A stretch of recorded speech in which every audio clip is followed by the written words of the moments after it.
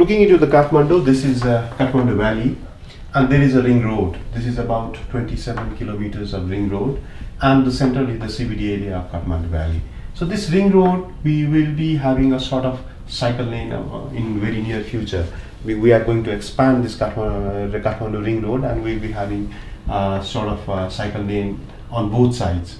Now, what we need to see is how these people are getting into the CBD area or inner area. So what we see is we need to have a network of cycle lanes, east to east to west or north to south, and it needs to be supported with inner rings. We have an inner ring road, and if we could able to address this cycle lane in this inner ring road and other links and, then then the cycling network will be complete and people will be having more comfortable cycle ride but one thing what we need to uh, address is this CBD area then we have lots of vehicles and lots of cycles will be traveling in this CBD area. And this CBD area needs to be addressed by complementing different type of modes. Maybe cycle could come and park somewhere here. This would be a parking area developed for the cycle.